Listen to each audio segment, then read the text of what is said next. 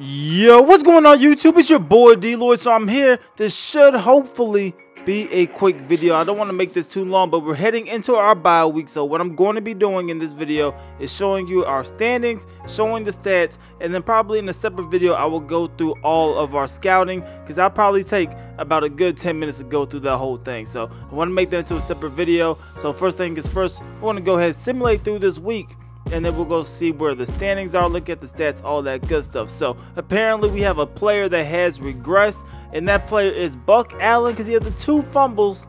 So he is going to regress a little bit. His carrying dropping down to an 84 overall. He had a very good game in the last game against the Bengals, but he is going to go ahead and regress. So we're going to go ahead and advance the week. Like I said, we're going to take a look at the standings, take a look at the stats, we're pretty much uh, midway through the season, so or we are at the midway point of the season. So um, we should have a very good view on how competitive a lot of these teams are and our chances of making the playoffs. So first thing we'll go ahead and do look at the standings, and you see right away the Cowboys are the only undefeated team in the NFL. 7 and 0. You have a couple of one loss teams. You have the Houston Texans, which is kind of surprising. You have the New England Patriots, who does not surprise me at all. And the Jacksonville Jaguars are 5 1 and 1. So a very good season for them. You have the New Orleans Saints, Buffalo Bills, Seattle Seahawks. Um, you have us at 5 and 3. The Chiefs, Packers, Rams, Browns, a lot of three loss teams. Um, Broncos and the Tampa Bay Buccaneers. Then when we look at the worst teams, in the NFL. You have the Tennessee Titans, San Diego Chargers. Both of them are one and six. In the Chargers case, they are one, six, and one. So looking at the AFC North, which is obviously important to us, we just beat the Bengals, who were in first place last week. We are now in first place in the AFC North. So we struggled a little bit early in the year, but now we're on a three-game winning streak. Hopefully, we can keep that up moving forward. And I think a very good shot at it. I mean, the Browns, I don't see them really catching us, even though they did beat us last time we played them. But when you look at the rest of our schedule, um, I don't think it's something that will definitely be crazy in terms of stopping us from winning a lot of games. So we play the um, Tennessee Titans. Like I said, they're the worst team in, in, the NFL right now. The Jaguars, they are surprisingly good. Now we'll see if the talent is there or if it's the record that's just really making them better.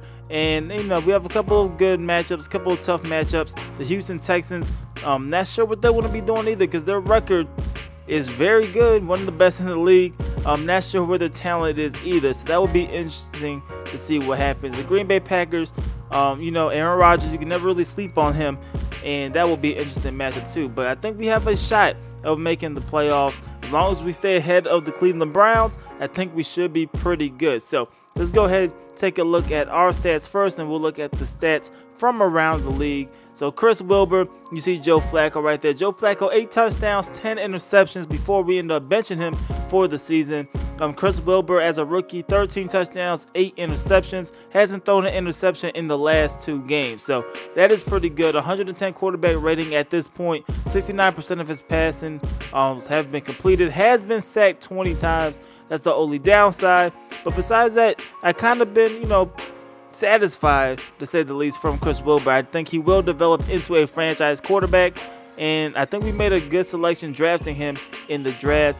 As for our running backs, Carlos Williams has the most carries, obviously. He's averaging 3.5 yards a carry, 71 attempts, 252 yards. Devontae McCullum, who is our rookie, is averaging 3.9 yards per carry. But Buck Allen, he only played in the last game, 5.2 yards a carry, but he did fumble the ball two times. So that is definitely kind of concerning.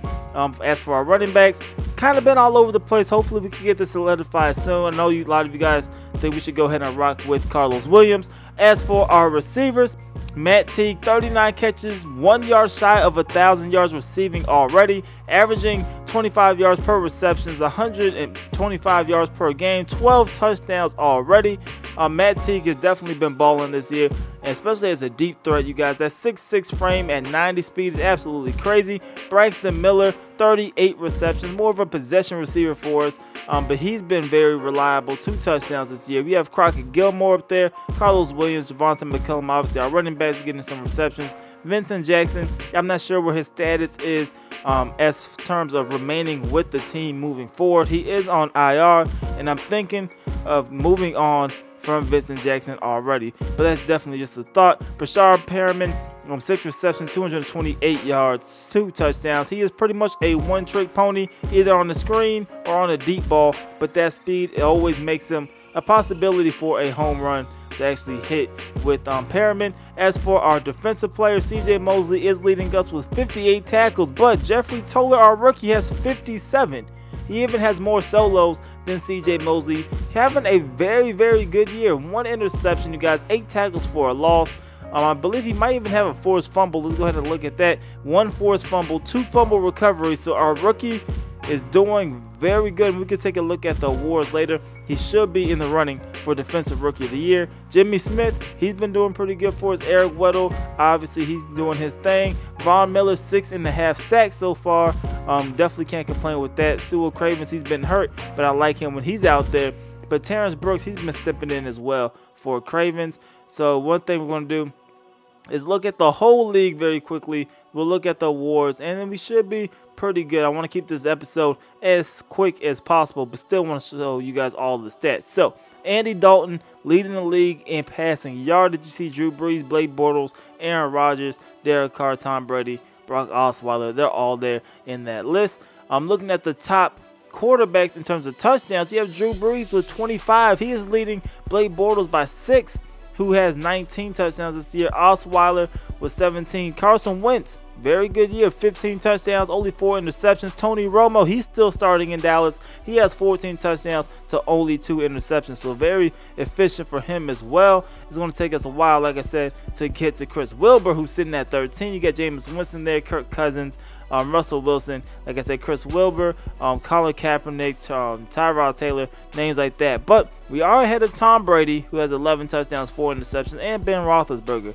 So that is a good sign, I guess. And then looking at the interceptions leader, is going to be Joe Flacco with 10. Sam Bradford has 10 as well. And then Jameis Winston, Chris Wilbur, Colin Kaepernick, and Jared Goff. They all have 8 interceptions. As for the rushing leaders, it is going to be Ezekiel Elliott, 622 rushing yards so far this season. Devonta Freeman right behind him at 592. You got TJ Yeldon, second year in the league. He's up there very um explosive back. You got Shane Vereen up there. That's kind of surprising for the Bears. Adrian Peterson still kicking at an older age. Mark Ingram, LeSean McCoy, Latavius Murray, Evan LeGarrette Blount now playing for the Rams.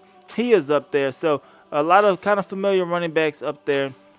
Looking at receivers though, Davante Adams has the most receptions with 53. You have Jordy Nelson. You know Green Bay is going to throw the ball a lot. So are the Saints. Brandin Cooks is there, 690 yards receiving. AJ Green is a beast, 50 receptions, 871 yards, 8 touchdowns from AJ Green. Um, we have a rookie with 42 receptions, 493, and 6 touchdowns. So not bad from Twan Roll. I don't think I said his name right, but um, yeah, anyway, for the Saints, they got a rookie running back there. Uh, when you look at actual receiving yards, I'm clicking on the wrong stat. Looking at receiving yards, Matt Teague is leading everybody with 999. AJ Green's in second. Then there's a distance between AJ Green and Brandin Cooks, Davante Adams, and Jordy Nelson. Yeah, then taking a look at receiving touchdowns, Matt Teague is leading the league by four. You got AJ Green, Allen Robinson, and De'Anthony Thomas. Kind of surprising, he's up there as well. So taking a look at the defense real quick before we get to the awards. Um, terms of just tackles, you got Quan Golston, who is a rookie with 80 total tackles this year. Um, Stephen Tulloch, Wesley Woodyard's there, Bostic, and I think we were at about 30, maybe 50 tackles. I can't really remember where um, our players came in. But looking at quarterback sacks, you have Vinny Curry with nine and a half, Clay Matthews with nine, Jurrell Casey with nine.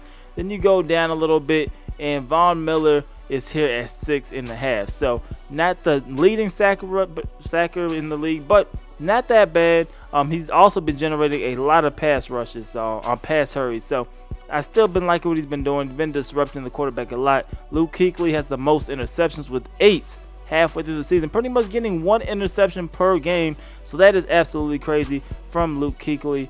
And I think that is pretty much everything we're going to look at here. If I'm missing anything, um, definitely let me know in terms of stats.